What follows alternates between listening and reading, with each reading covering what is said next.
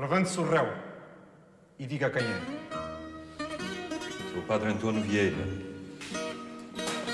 religioso professo da Companhia de Jesus. É que estes hereges das leis,